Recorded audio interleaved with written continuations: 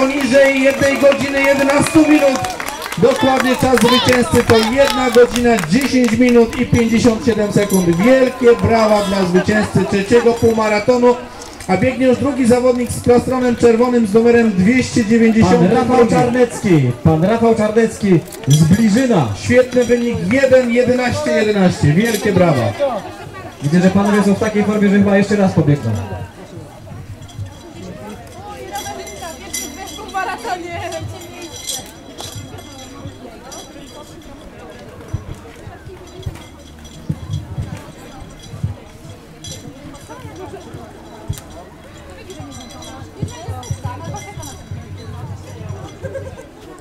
Kolejni zawodnicy zbliżają się do mety.